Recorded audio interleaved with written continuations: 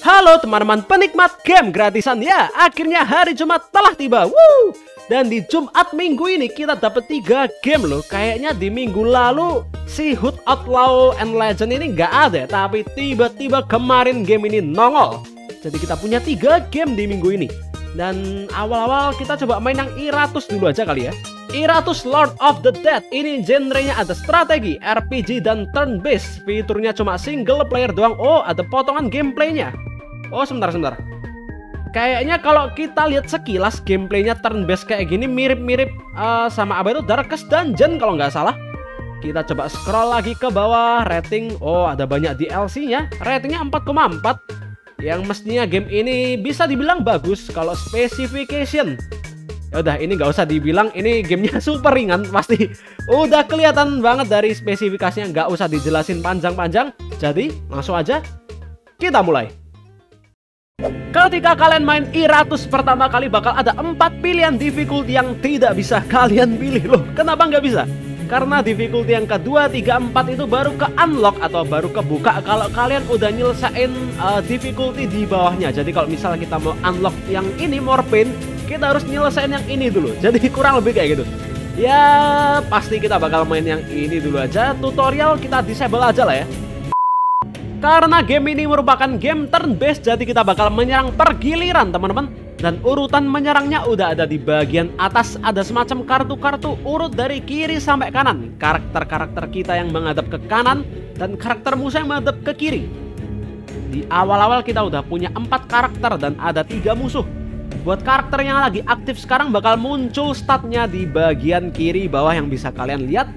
Di sebelah kanan ada kotak skill uh, kita bisa gunain skill buat nyerang musuh atau ngebuff, ngesupport karakter kita sendiri. Ada MP, ada spell. Spell ini kita bisa nambahin nantinya tapi awal-awal kita masih punya dua doang. Yang ini untuk biar karakter kita mundur dan yang ini buat karakter kita maju. Oke, kita langsung coba serang aja. Ada efek-efeknya juga. Physical attack di 50% damage. Yang ini attack twice. Ini kayak lebih mantep. Kita bakal coba nyerang abang-abang yang di depan dulu. Oke, nyerang dua kali. Oke, giliran musuhnya. Oh. Oh, apa ini? Entah dia bakal ngebuff atau ngedebuff karakter kita, aku masih nggak tahu. Oke, karakter kita sekarang hmm, Dark Knight. Wow, keren loh. Pedang besar. Ada stress attack. Nah, ini. Kalau misal kalian lihat di bagian bawah musuhnya ada kayak bar berwarna ungu. Selain musuhnya punya HP, dia juga punya semacam sanity atau kewarasan. Kalau kita ngurangin sanitinya sampai 0, ya kalian juga bisa lihat di bagian nah ini. Kalau misal kalian ngurangi saat ini sanity, sanitinya sampai 0, musuh bakal kena debuff, kadang bisa langsung mati juga. Jadi serangan-serangan apa ya kejiwaan juga cukup penting di game ini. Uh, fisikal dulu aja deh. Ayo mati kamu. Wow, kurangnya banyak loh. Oke, okay, apakah kita harus nyerang apa ini? Bentar, ini skill apa lagi? Stress attack. Deal 100% sanity damage. Bentar. Yang ini aja deh, yang kroco-kroco. Oh, langsung berkurang setengah. Oh, dia udah kena debuff. Bentar, bentar. Apa tadi? Debuff panik, cuy. Oh, dia mulai ketar-ketir. Ada minus 50 akurasi, minus Oh, malah plus 10 evasion, tapi ada 33% kemungkinan dia bakal skip uh, giliran selanjutnya.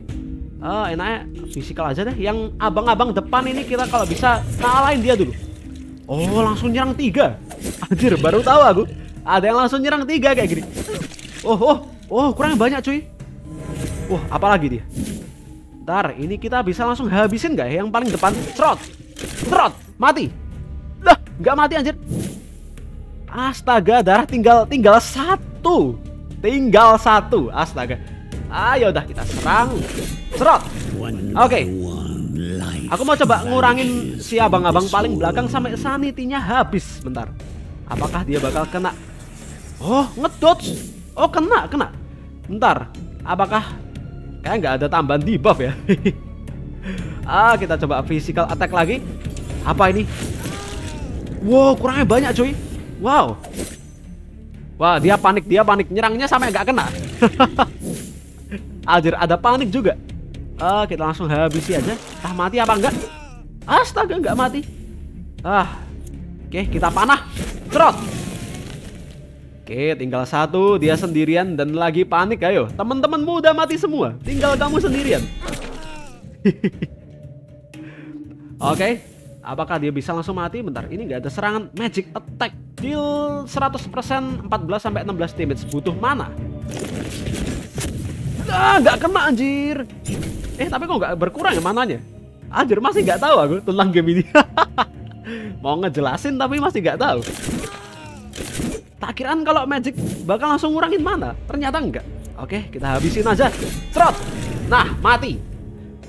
Oke, kalau musuh udah mati semua kayak gini kita bakal dapat semacam item-item, ada Digger Soul dan lain-lain. Kita bakal uh, dapat XP juga tiap karakternya, teman-teman. Oke, kita bakal pulang dan kita ketemu Bang Iratus yang dari mukanya cukup mengerikan. Tadi kita berhasil dapetin beberapa item dan di game ini kita bisa gunain item-item itu buat nge-crafting apa ya warrior, bukan crafting sih kayak ya ya ngebuat memproduksi warrior baru. Ada tujuh pilihan warrior, tapi kayak masih banyak ntar kita bisa dapat yang lain-lain juga. Kalau werewolf kita bisa langsung fill.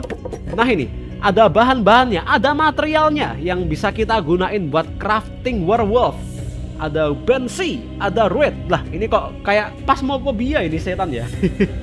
ada ya, ada beberapa macam juga. Kita coba crafting yang werewolf dulu. Di awal-awal cukup baik loh, kita udah punya banyak material, coy. Oke, kita coba crafting. Manusia serigala. Oke, jadi Nice, nice, nice. Kita juga bisa bongkar pasang apa ya pasukan kita. Ada 4 set 4 set kayak gini uh, yang kira-kira nggak berguna apa? Kayak zombie deh. Oke, di sebelah sini ada talent kita ntar bisa upgrade upgrade talent semacam uh, skill yang tadi slot spell kan masih banyak yang kosong. Salah satunya juga dari talent. Di sebelah sini ada artifak. Artifak ini kita bisa dapetin item-item di dalam game dan kita bisa pasangin ke Bang Iratus yang di tengah tadi. Ini, Bang Iratus ini dia bisa dapat item kita bisa pasangin. Bakal dapat semacam efek-efek tertentu nanti di dalam gamenya. Oke. Okay. dan di sebelah sini ada alchemy. Ini semacam tempat buat ngeracik-racik item. Kalau tadi kita racik-racik uh, crafting warrior baru kita di sini juga bisa crafting item ada efek-efeknya dengan bahan-bahan yang sama yang kita gunain untuk crafting werewolf tadi oke kita bakal coba main sekali lagi go to the dungeon oke. Ini dungeonnya cukup besar. Kita baru ada di tempat pertama di Mines dan mapnya sangat besar teman-teman. Wow. Astaga. Anjir gede banget. Oke, dan ini pintu exit. Ntar mestinya bakal lanjut ke bagian atasnya, atas, atas, dan tempat terakhir di katedral. Wow, ini mapnya cukup besar untuk game ginian. Uh, kita di mana? Oh, masih di sini anjir. Ntar ada pilihan jalan ke kiri dan ke kanan. Apa ya? Kita coba kecas aja. Oh, suruh choose a battle squad. Nah ini, ada kelompok-kelompok. Ada kelompok 1, 2, 3, dan 4. Kita pakai yang kelompok 1, kita ke sini. Oke, ada harta karun, teman-teman. Apakah kita bakal mendapatkan sesuatu? Apa ini? Select a boon. Ah, ini item-item kira-kira yang bagus mana? It's time Iratus use spell bla bla bla. Aku nggak tahu deh yang bagus yang mana. Ah, aja aja lah ya. Baru main juga.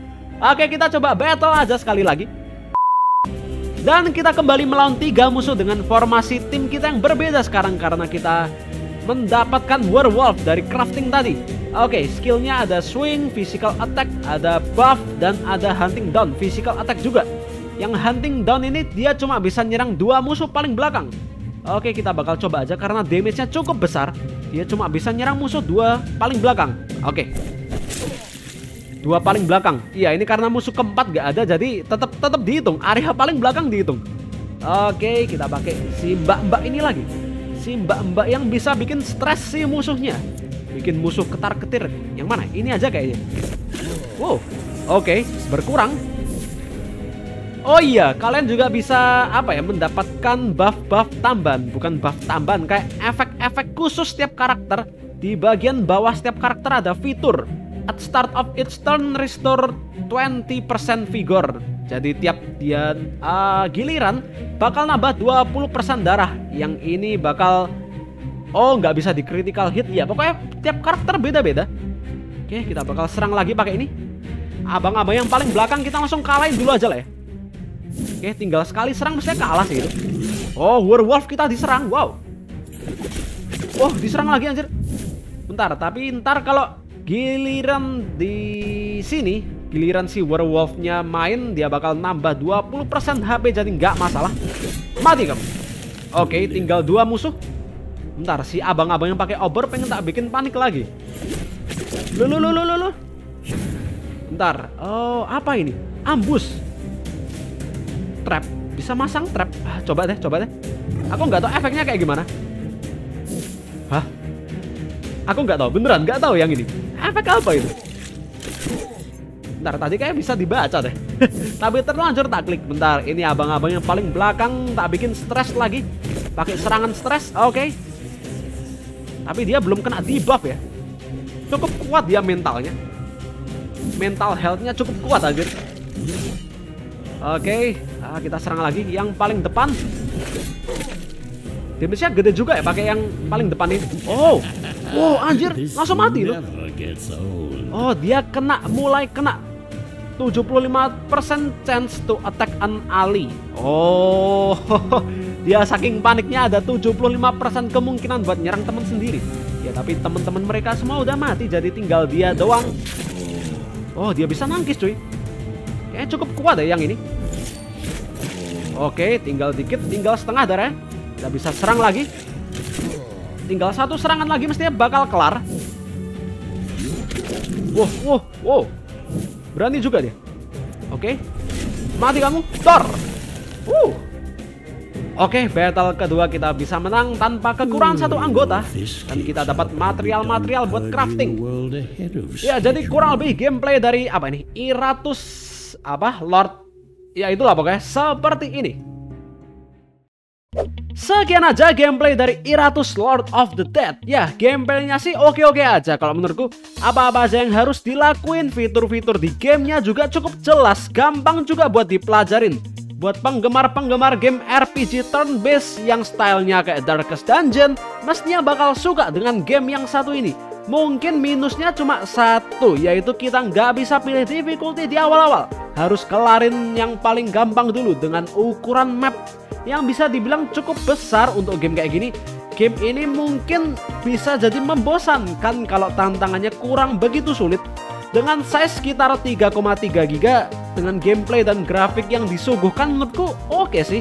Bolehlah buat dicoba. Dan di minggu ini kita masih punya dua game. Ada Genport 1 Mutagen dan Hood Outlaw and Legends. Dan di minggu depan kita dapat dua game. Ada Ancient Enemy dan Killing Floor 2 Jadi kurang lebih kayak gitu untuk episode kali ini. Thank you buat kalian udah nonton. Ketemu lagi di EGG episode berikutnya. Sampai jumpa